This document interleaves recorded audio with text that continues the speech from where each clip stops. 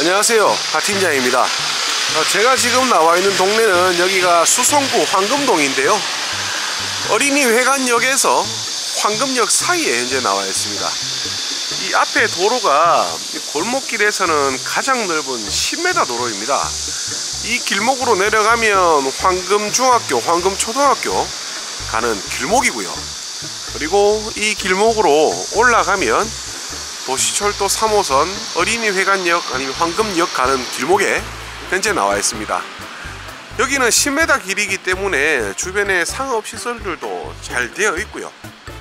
오늘 건물은 이 10m 넓은 도로를 물고 있기 때문에 또 상가주택으로 구성이 되어 있고요. 그리고 제가 볼, 볼 앞에 서 있는 이 건물은 통상가입니다.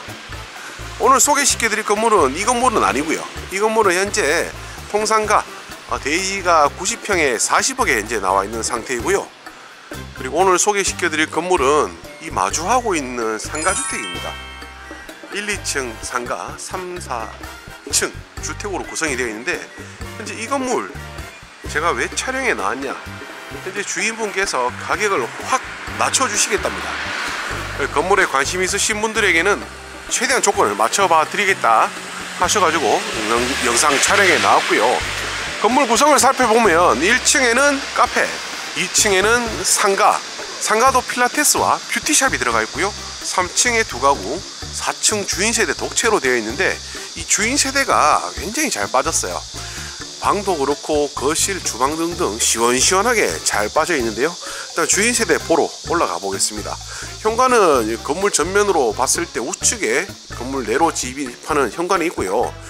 주차장 바닥을 여기는 블록으로 깔아 두셨는데 블록도 알록달록한 게 건물 지으신 분도 참 감각적이신 분이 지었다라고 예상이 되는 건축물입니다. 그리고 건물 외벽도 이렇게 long brick과 Stucco Flex로 서로 조화를 잘 이루고 있는 건축물인데요. 내부 또한 기대하셔도 좋으니까 일단 내부 들어가 볼게요. 자 내부는요 이렇게 그러면 간접등이 시공이 되어 있고요. 그리고 하얀색 벽체로 칠로 복도가 마감이 되어 있습니다. 그리고 엘리베이터 설치가 되어 있고요. 어, 2층 계단으로 올라가 보겠습니다. 이렇게 계단 등도 아주 예쁜 걸 계단 복도 등으로 사용을 하고 계시고 핸드레일도 이렇게 와이어로 사용을 해 두셨습니다. 굉장히 세련된 분이 건축을 하셨지 않나 라고 예상이 되고요. 2층 정면에는 beauty shop 이제 들어가 있으며 그리고 필라테스 하나 들어가 있습니다. 저번에 왔을 때는 필라테스가 불이 꺼져 있고 beauty shop이 또 들어와 있더니 지금은 또 반대로 되어 있네요. 그리고 3층 오르는 계단도 이렇게 와이어로 handrail을 꾸며 두셨고요. 그리고 3층은 방이 두 칸인 3룸과 방이 세 칸인 포룸으로 이렇게 두 가구가 구성이 되어 있습니다. 상가주택의 장점 관리적인 면에서 굉장히 편리하죠. 우선 관리를 해야 될 세대가 적기 때문에 세입자 신경 쓸 게 크게 없어서 인기가 많은 부동산인 것 같습니다. 자 그리고 여기 주인 세대는요 어, 3층 반계단부터 시작이 되는데 501호 501호 이렇게 주인 세대입니다.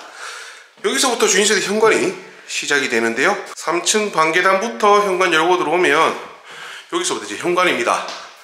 여기는 이중으로 보완이 되어 있어요. 주인 세대와 연결되는 쪽에도 방화문이 그리고 계단에서 올라오는 쪽에도 방화문이 이중으로 설치가 되어 있고 4층 엘리베이터 이용하실 때는 보안 카드키를 이용하시면 바로 주인 세대와 연결이 됩니다. 그리고 옥상으로 오르는 계단도 이렇게 목작업으로 마감을 해 두셨고요.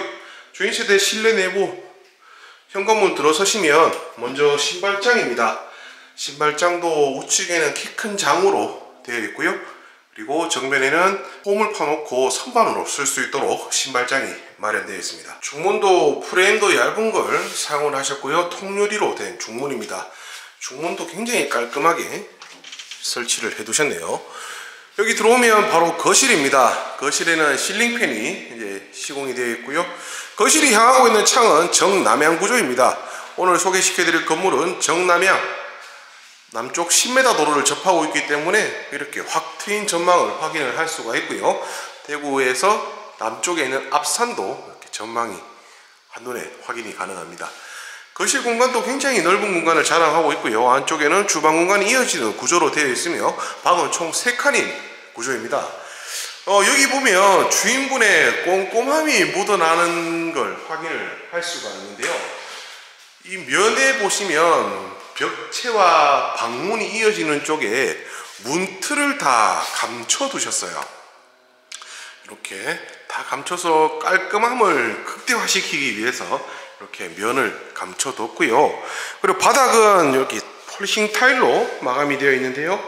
지금 바닥재 사이사이 보시면 매지 사이에 죄다 줄눈 시공이 되어 있습니다. 그래서 바닥 관리적인 측면에서도 굉장히 편하게 하실 수가 있고 그리고 주방 공간입니다. 거실 공간만큼 넓은 주방 공간에 이렇게 고급진 식탁 등까지 기본 옵션으로 설치를 해 두셨고요.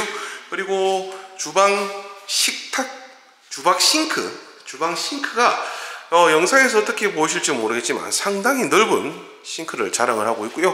우측에는 시스템 장으로 시공이 되어 있습니다.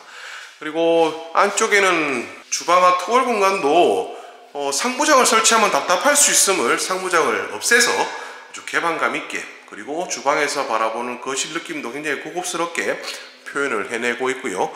식기 세척기 기본 옵션 들어가 있고 그리고 사각 sink bowl 그리고 인덕션 레인지까지 구비되어 있습니다. 환기 시스템도 made in 이태리로 수입 제품을 사용을 하셨고요. 어, 자칫 주방 공간이 답답해 보일 수 있습니다. 그래서 여기 서쪽 방면으로는 통창, 아, 거실 주방 창을 이용해서 개방감도 좋고요. 그리고 환기 역할까지 할 수 있도록 한쪽 벽은 창으로 이렇게 마감을 해뒀습니다. 이런 창이 있으니까 주방의 고급스러움을 한층 더 표현을 하는 것 같고요. 주방은 이게 끝이 아닙니다. 이 주방 공간은 아무래도 사모님들이 많이 사용을 하시는데 그 동선을 생각을 해서 안쪽에는 세탁실로 별도로 만들어 두셨고요. 여기는 이렇게 문을 또 별도로 세탁실과 구분할 수 있도록 문을 하나 더 달아 두셨네요. 문전에는 이렇게 선반으로 쓸 수 있도록 팬트리 공간까지 마련이 되어 있으며 문을 열고 들어가면 세탁실 구조입니다. 보조 싱크도 마련되어 있고요.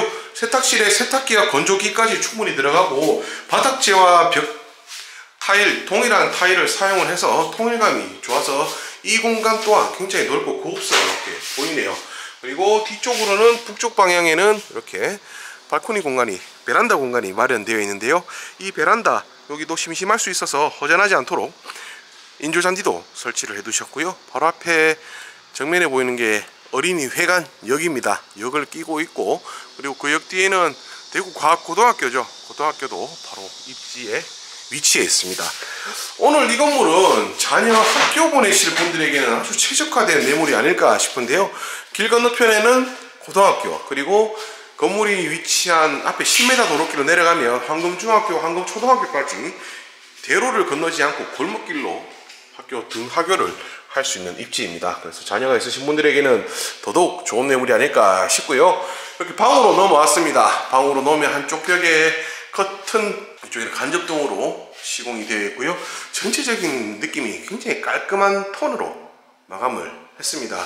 그리고 이 방 안쪽에서는 보면 여기 문틀이 보이시죠? 그리고 거실에서 보면 이 문틀이 없습니다. 그래서 훨씬 더 깔끔함을 보여주고 있고요. 그리고 이렇게 방까지 보여드렸고 이제 작은 방 하나와 안방이 남았는데요.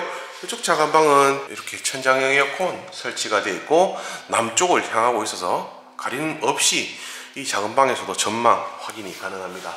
그리고 또 이 집의 하이라이트이기도 합니다. 바로 이 안방입니다. 안방도 굉장히 넓은 구조를 하고 있습니다. 대지가 93평에 독채로 되어 있으니까 방이 얼마나 크겠습니까? 그래서 직접 한번 보시면 어느 집에, 집에 계시든 짐은 어느 정도 소화는 다 가능할 법한 평수 주인 세대를 자랑을 하고 있습니다. 여기도 천장형 에어컨 설치가 되어 있고요.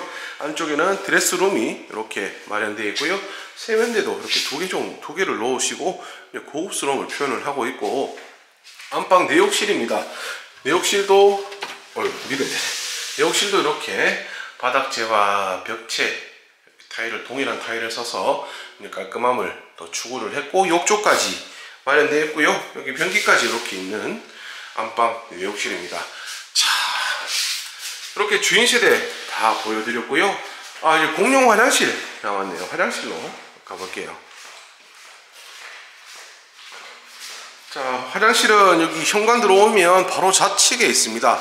여기도 여기 약간 회색 짙은 톤의 타일을 사용을 했고요. 여기도 세면대 샤워 호스까지 시공이 되어 있습니다. 전체적인 느낌, 마감 하나하나 자체가 굉장히 깔끔합니다. 전부 다 통일감 있고 연결 연결이 잘 되도록 인테리어를 해 두셨고요.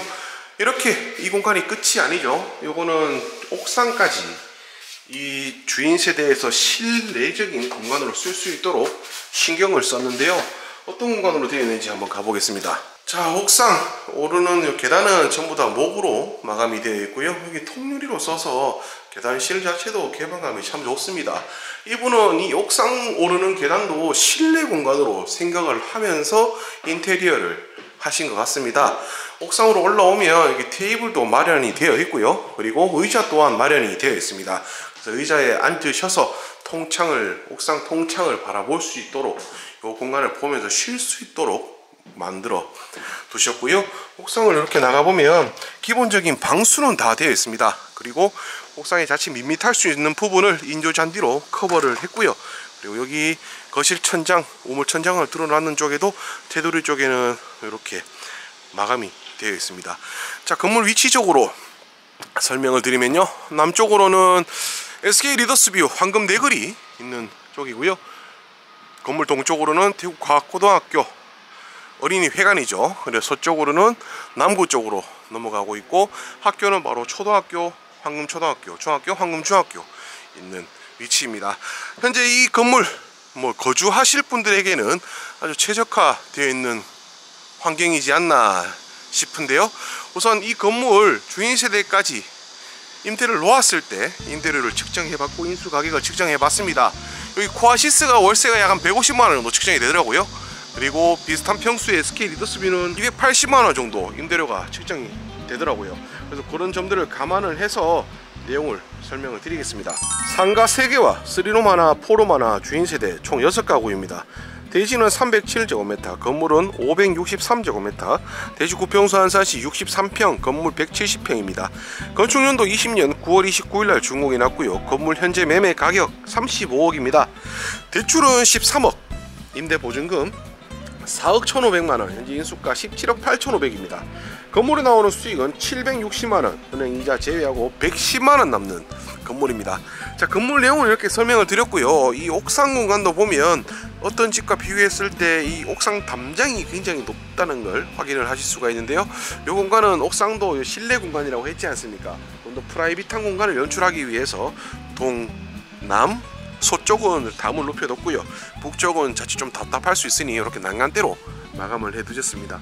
조명도 이렇게 예쁘게 예쁜 조명을 설치를 해두셔서 낮보다는 아마 밤이 더 예쁜 그런 집이 아닐까 싶은데요. 직접 한번 보러 나오시는 걸 좀 추천드리고 싶고요. 이 건물 주인 세대 보시면 어느 집 주인 세대보다 참 잘 되어 있구나 라고 생각이 드실 만한 건물입니다. 영상은 여기서 마무리하고요. 앞으로도 다양한 매물로 인사드릴 수 있도록 하겠습니다. 구독, 좋아요 부탁드리겠습니다. 감사합니다.